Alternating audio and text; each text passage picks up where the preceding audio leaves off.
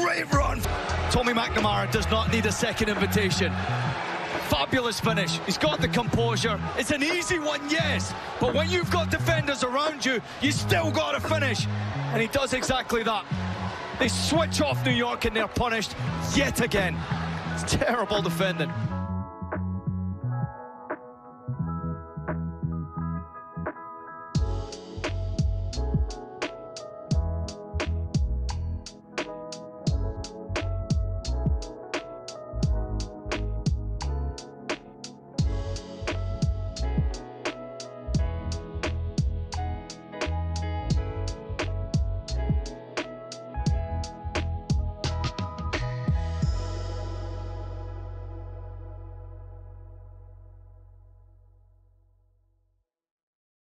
Thank you.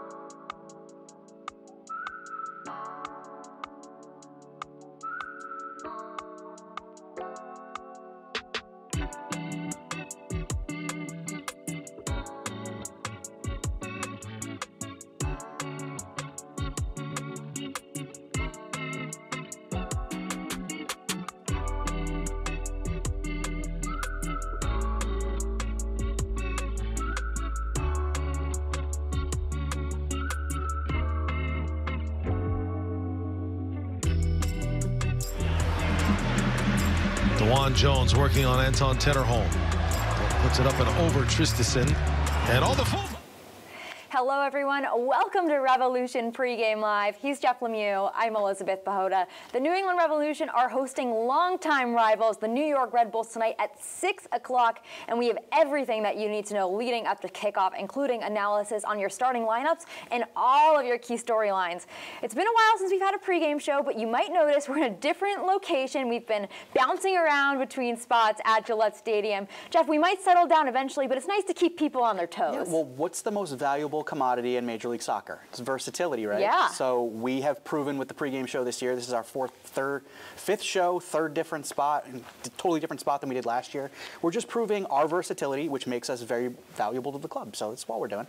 Yeah, we're just keeping everybody on their toes as we kind of bounce around. You never know, we might be in a new location next week.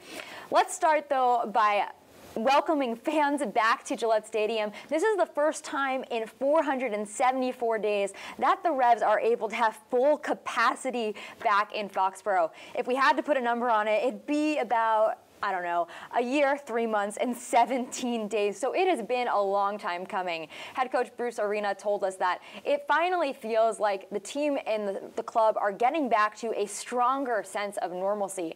How exciting is it to welcome back fans to Gillette Stadium in full? Yeah, it's exciting, and I think it's because of that normalcy that you mentioned. As we've seen stadiums around the United States, stadiums on, around the world get back to welcoming back uh, full capacity crowds and lifting those restrictions, uh, it just every single time you see those crowds, it's just another sense of normalcy. So what I'm really looking forward to as we get deeper into the summer is seeing the supporters coming back, seeing the riders and the rebellion, the rest of the supporters together in the fort, shoulder to shoulder, singing and chanting for the first time in a really long time. It's been too long, and I cannot wait to, to see and hear them back in the stadium. It's a great time to welcome fans back. Why, you might ask?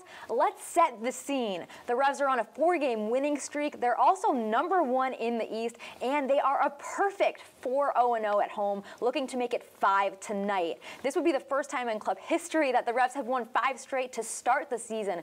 What's most impressive about this group while they're in such hot form? Well, for me, what's been most impressive early in the season is that the Revs have shown they can win games in a variety of ways. They have not been a one-trick pony through the early portion of the season. We know that they can grind games out. Mm -hmm. Three of their six wins have been by 1-0 scoreline. So we know that they can be solid defensively and find that one goal to get them three points. We've seen games in which they've conceded first and they've had the mentality to battle back and pick up three points. We saw that a month ago when the Revs hosted the Red Bulls here at Gillette Stadium.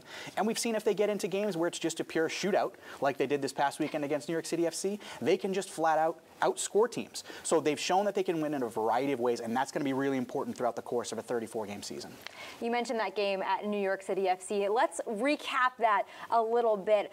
The scoreline ended 3 2 with the Revs winning and trading chances throughout against New York City FC. However, a goal scoring trio of Gustavo Bou, Jon Bell, and Tommy McNamara lifted the Revs to victory. Coach Arena mentioned post game that this wasn't how he expected the game to go with us being such a high scoring match. However, he was proud of the strong effort the group put in to grind out the result. Where can the group improve considering it was such a it was such a drawn out game? Yeah, I think the Revs came out of that game at New York City FC happy with the three points, but certainly with some areas where they said we need to be a little bit better there mm-hmm. moving forward as we get deeper into the season. Certainly defensively, you know, the Revs needed to tighten things up there a little bit. They conceded a lot of high quality looks to New York City FC. They were relied on Matt Turner a little bit to save their bacon a few times, which is great to have Matt Turner back there to do that. Uh, you don't want to do that too too often though. So looking to tighten things up back there a little bit. And we should note as well, the Revs did concede from another set piece at Red Bull Arena. So until the Revs uh, kind of consistently tighten things up on defensive set pieces, that's going to continue to be an area of focus for as well. So the Revs find themselves in a good spot. They're winning games, they're playing well, they're scoring goals, but they know that there are more levels to reach, and that's what's really exciting as you get deeper into the season. Jeff, you touched on it a little bit, but one player who has been so consistent for the Revs is goalkeeper Matt Turner. In the Revs 3 2 win over New York City FC, Turner had a massive penalty save. He registered a season high of seven saves, and he's been a consistent presence both physically and vocally for the Revs defensively. Turner also earned the prestigious honor of MLS Player of the Week week, becoming the first ever Revolution goalkeeper to receive this award. How has Turner elevated his games in recent play? Well, I think the reason you continue to see a rise in form from Matt Turner, and you've continued to see a rise of form mm-hmm. really for a couple of years now, is this mentality that he has to never be satisfied with what he has accomplished. You look at his background, a player who didn't start playing competitive soccer until high school, he could have been satisfied that he became a starter at Fairfield and was a starting college goalkeeper. He could have been been satisfied that he made an MLS roster. He could have been satisfied that he became a starter in MLS. He could have been satisfied that he made an appearance with the U.S. national team and saved a penalty at the national team level. But none of those accomplishments, while he's proud of those accomplishments, none of them have satisfied him. He is always looking towards the next accomplishment, and he's always looking to get better every day on the training ground. He actually said this week, yeah, it's great that I played a game for the U.S. national team, but you know, we won that game 7-0. What I want to do is play against top level competition and contribute to games that matter for the U.S. national team. So he's already looking towards that next accomplishment. That's how he approaches every day on the training ground, and that's why you just continue to see him get better and better. Turner will look to continue to improve heading into tonight's game. The Revs are actually unbeaten when they've scored first in games. They've gone 5-0-1 in competitions this year when they have gotten one on the board first. Turner told us this week that there's been a really strong emphasis on teams strong, starting strong when the Revs have been on the pitch. What's been the difference maker when the Revs have been able to put one away? Yeah, when you can get on the board first in a game of soccer, it allows you to dictate the tempo a little bit. If you're chasing a game, you have to change the way that you want to play a little bit. It's not a good position to be in. When you are the team that's on top, you can dictate things a little bit more. And that's what the Revs have been able to do quite a bit this season. And kind of what's fascinating about this is while the Revs have gotten on the board first quite a bit, they haven't necessarily started games well all that often. You look at that New York City FC game this past weekend. The Revs got on the board first in that game, but they actually relied on Matt Turner a lot at the beginning of that game because they felt like they started the game a little slow. So while they have been getting on the board first pretty consistently, uh, they know that they need to start stronger, particularly against this Red Bulls team here tonight at Gillette Stadium. Let's get right to it. Who are we going to see in the starting lineup for the Revolution for tonight's match? We're going to see three changes to the starting 11, which I feel like has become a pretty consistent theme. It feels like every time we go through a starting 11, we see three changes. Along the back line, we see a change in central defense, which we've become pretty used to. We'll see Henry Kessler come back into the starting lineup to partner Andrew Farrell. Uh, in midfield, we'll see changes on both wings. Tajon Buchanan comes back into the starting 11. He will play on the right wing, which pushes Tommy McNamara from that right wing back into central midfield to partner Matt Polster. And then on the left wing, we'll we'll see Teal Bunbury come back into the starting lineup as Arnor Traustason gets his first rest since he arrived in New England.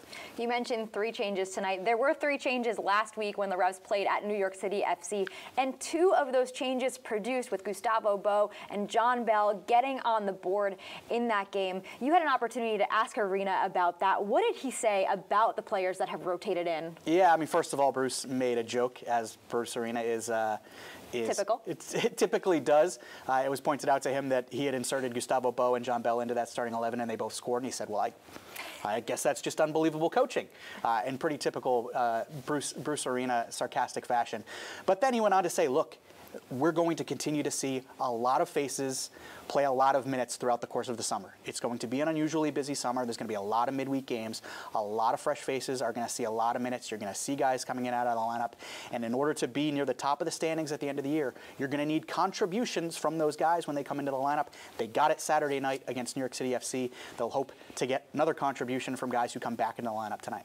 Speaking of one of those goal scorers, Gustavo Bou returned from injury last week against New York City And he did so in style. Bou had an incredible one-touch rocket from outside the 18-yard box in which he put the Revs on the board first against New York City FC. And Bou is actually on the Bou is unbeaten as far as leading the Revs to victory, going 12-0 and seven in all competitions in which he has scored. How likely is it that we're seeing the full strength Bou that first came to the Revs and had an 11 game unbeaten run? Yeah, I think the international break came at a really good time for mm-hmm. Gustavo Bou. We saw him deal with a couple injuries through the first eight games of the season, so that international break was a good opportunity for him to get himself healthy. And when he is healthy, this is the type of contribution that you get. He is capable of these types of moments of magic. You referenced when he came in in July 2019 and the Revs went on that winning streak. He scored an unbelievable goal against the Vancouver Whitecaps in his first appearance. A volley from the top of the box looked a lot like the goal he scored yes. uh, against New York City FC. So this is what he is capable of, and he has shown as well as we see this goal that he scored against uh, Vancouver. So you can see exactly, not exactly how similar it was, but volley from the top of the box, moment of magic. That's what Gustavo Bou gives you.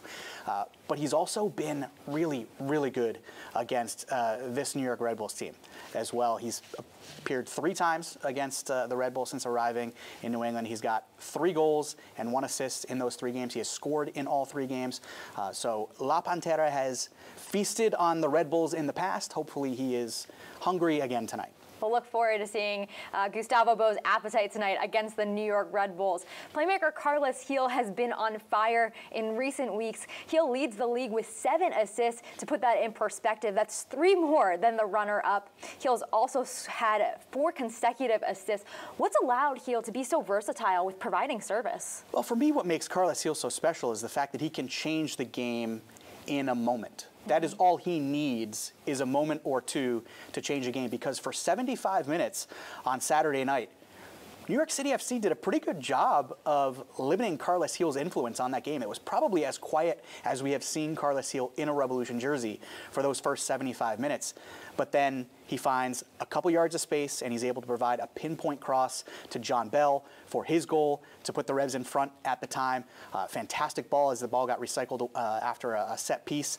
And then again, he comes up with a moment of magic, playing a ball through to Tajon Buchanan, uh, springs Buchanan down the left wing to set up Tommy McNamara for the game winner. So really the only two moments in which Carlos Gil was really influential at New York City FC, but they end up being the two moments that win you the game. That's exactly what he does. Gil's able to make moments count the most when it comes down to it. Let's take a look further at the attack. Forward Teal Bunbury is in the starting lineup tonight. While Bunbury's had seven appearances this year, this is only his second start for the group. What kind of opportunity is this for Bunbury? Yeah, it's a huge opportunity because I look at Teal Bunbury. This is a guy who started 19 of the Revs' 23 regular season games games last year. He was the Revs' leading scorer mm-hmm. with eight goals. He was a big contributor last season. But as Carlos Gil has come back from injury this year, as Tajon Buchanan has emerged on the right wing, as Arnor Traustason has come into the team and taken up a lot of those minutes. Teal Bunbury's been a, something of a casualty in terms of minutes within this attack. So he's actually only played 10 minutes in the last three games. And Teal Bunbury is the type of guy who really wants to be on the field, and he is hungry to get back on the field. And these are the types of opportunities that in years past, when we've seen Teal get these opportunities, he has grasped hold of them. So So I know that he's going to be hungry for this opportunity tonight. I'm looking for Teal Bunbury uh, to, to really grasp hold of the chance. Keep your eye on Bunbury tonight. As you look to the other side of the field, Tajon Buchanan will be out on the right wing. What we don't talk about often with Buchanan is his ability to get fouled smart. Buchanan leads the league in this category with 13. How beneficial is it to have a player that can be so smart tactically in the final third in big moments? This is exactly the type of player that Tajon Buchanan is. He thrives in these situations where he isolates a defender and takes them on one on one. Now, sometimes he's going to beat that man, be able to whip in a cross. Other times he's going to bait that defender into a foul, and he's going to win a free kick in the attacking third of the field. And when you have a player like Carlos Gil on your team, every time Tajon Buchanan wins a free kick in the attacking third of the field and Carlos Gil steps over that set piece, you have now given yourself a, a really quality scoring opportunity. So it has been a huge part of Tajon Buchanan's game. It's not just actually beating his man, it has been winning fouls in those positions.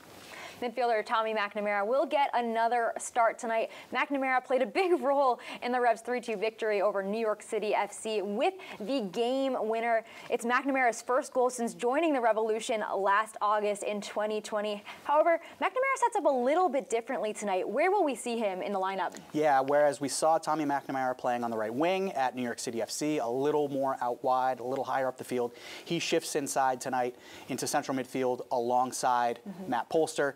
Uh, when we have seen this pairing together in the past, it has been Polster, who's been a bit more of that holding number six midfielder. McNamara has played a little bit more as the box to box number eight, so still provides him an opportunity to get into the attack. And he had actually shifted into that number eight role on Saturday night at New York City FC when he got forward and scored that game winning goal late. So it is a position that still affords him that opportunity to press forward. And I think this is probably Tommy McNamara's most comfortable position.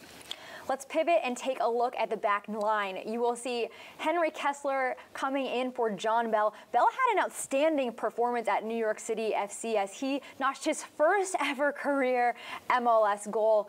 Why the switch Kessler for Bell after that performance? Well, one, it's a busy week. the Revs are playing their second game in the midst of a three-game week. They played on Saturday night. They'll play tonight. They go back on the road this weekend to play at Dallas on Sunday night. So just the fact that it's a busy week, you were anticipating anticipating some rotation, and we've seen a lot of rotation at center back.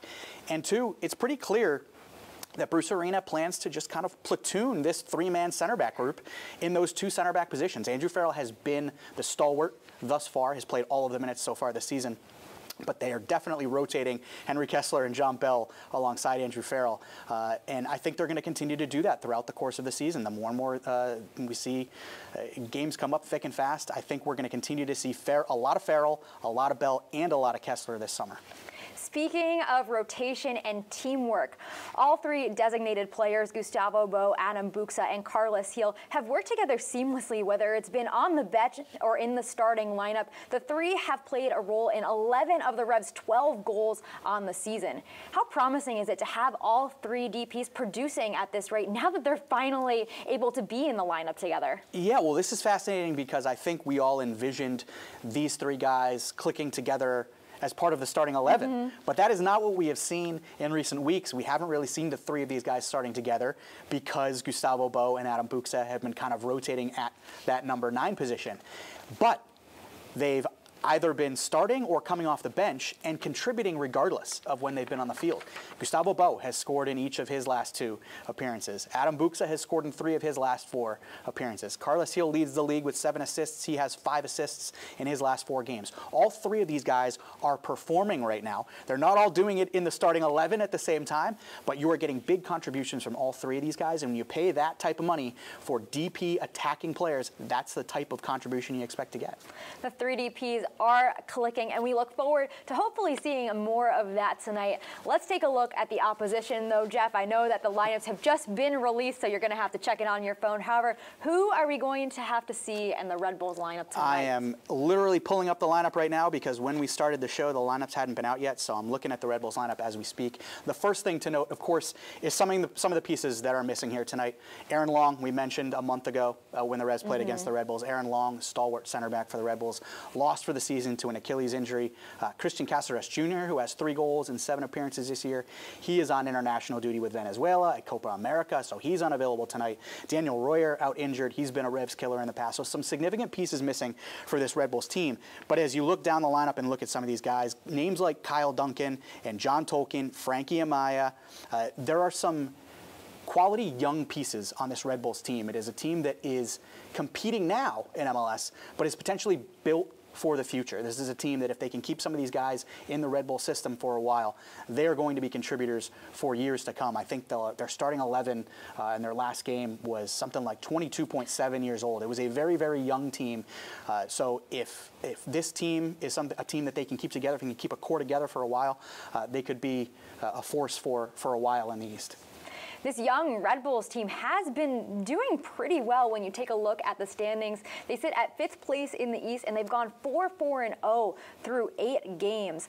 And their most recent performance was actually against Nashville SC, in which they won, and it was the only team that the Revs have fallen to so far this season. Who do the Revs need to watch tonight as this young Red Bulls team comes in? Well, they do not need to watch Caden Clark, as I am noticing he is not on the matchday squad tonight. So Caden Clark unavailable for tonight's game, uh, a player who has has been the Red Bulls' most consistent attacking player with four goals and two assists.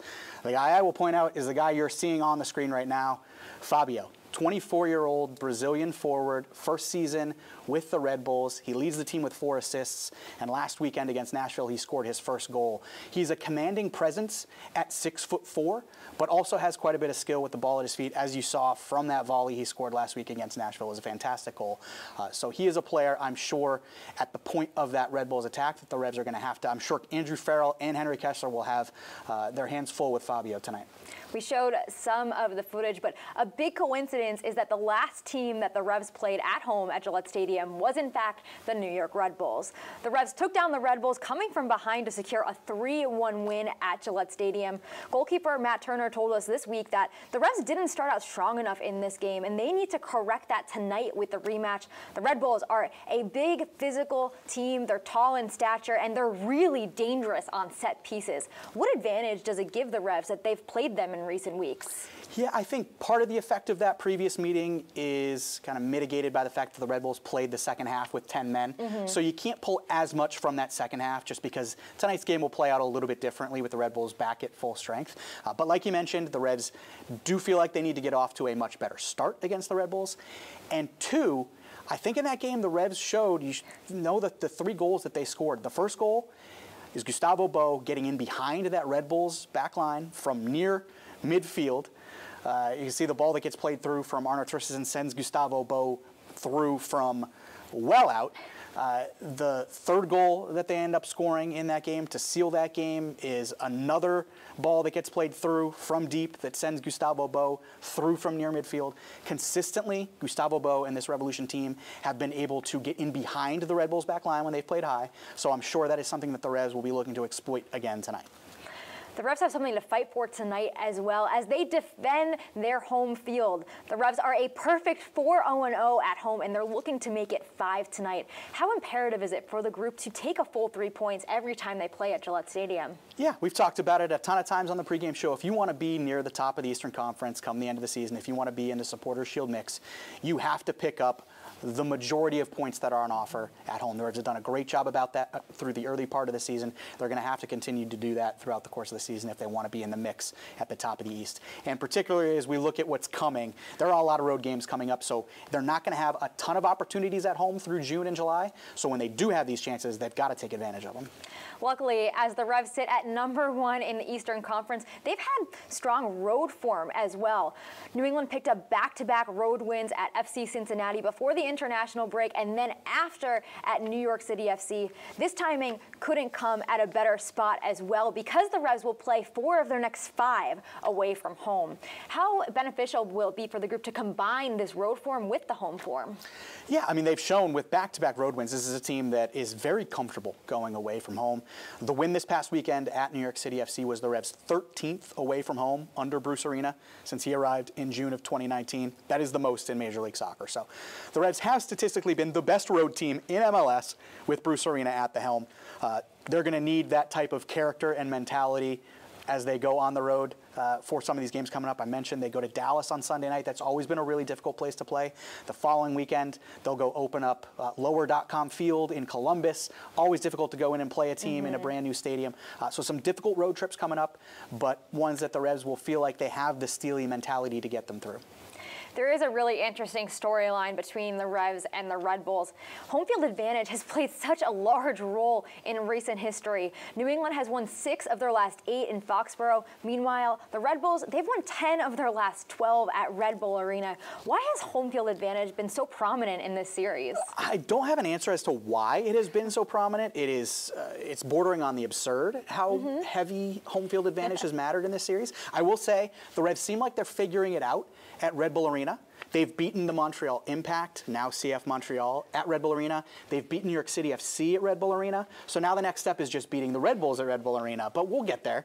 Um, but look, what we're talking about tonight is Gillette Stadium and the success the Revs have had against the Red Bulls here. It's unbelievable. Their record against the Metro Stars slash New York, New Jersey Metro Stars slash Red Bulls, all iterations of this team in Foxborough is 24 6 and 8.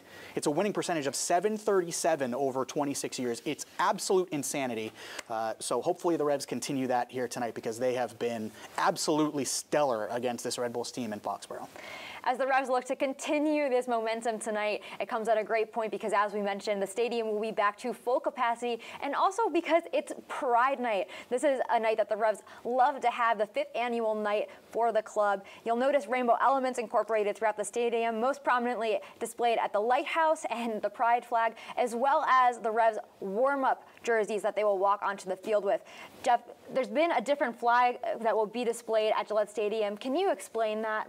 I just wanted to first say you'll also notice pride elements on the Revs pregame show with my pride socks. I don't know if we can zoom in on those. We can catch them. Yeah, I got a close up on that. My, maybe not. Maybe not. It's starting to cramp up a little bit. I'm not much of an athlete anymore, uh, but pride elements here as well. But yes, I did have a chance uh, earlier, well, late last week to speak with uh, Kirtland Masarski, who is the Director of Marketing and Development at BAGLY, and we chatted about the Progress Pride flag because you will see a different flag flying over Gillette Stadium tonight. So as you look at the new flag that is flying over the stadium, you'll notice there are some different shapes on the flag. There's kind of a chevron on one side of it, and then some colors, some different colors added to the flag uh, in you know, white, blue, and pink representing trans transgender, and then you've got black and brown. So it is essentially the idea behind this Progress flag is to become more inclusive. So that it's not just representing uh, sexual identity, it's also representing race and all of these kind of different intersectionalities. So the idea behind the Progress Pride flag is to simply become more inclusive. Uh, so that is the reason you'll see the Progress flag flying over the stadium tonight. So we're gr great that we've got Pride Night that we get to celebrate. And then we should note as well, we're also continuing our Juneteenth celebrations tonight mm -hmm. uh, as the Revs were on the road on the actual Juneteenth date. So we will see uh, Lift Every Voice and Sing, performed for the first time at Gillette Stadium tonight. Uh, Miranda Ray, a local R&B singer-songwriter, will be performing both the Star Spangled Banner and Lift Every Voice and Sing, commonly referred to as the Black National Anthem. So join us tonight to celebrate uh, Pride Night, Juneteenth, and hopefully by the end of the night, we'll be celebrating three points in front of the home fans as well. Absolutely. Jeff, before we go, I want to comment on your athletic abilities because I know you put out a tweet earlier today about two Olympians, a Boston Marathon finisher, and someone who gets winded walking up the stairs at Gillette Stadium. But we have had a guest that we should congratulate who's been on the show, Sam Mewis. Do you want to kind of explain your tweet just so that people don't think I'm calling you out on your athletic ability? Well, we had Sam Mewis on the pregame show last year, and obviously now with Sam Mewis named to the uh, 2020, I guess it's technically still the 2020 Olympics, with Sam Mewis named to the U.S. Women's National Team Olympic roster. Now you have, we had in the picture Sam Mewis, who's a World Cup winner and an Olympian, Charlie Davies, who was an Olympian in 2008. You obviously ran the Boston Marathon last year, uh, and I get winded walking up the uh, Gillette Stadium steps, as I think everybody does. But uh, yes. there was a time when I was something of an athlete. Those years are, I unfortunately, I think long past me, as you see by me lifting my leg up and pulling a muscle. Uh, but you know, that's it is what it is. Life life happens.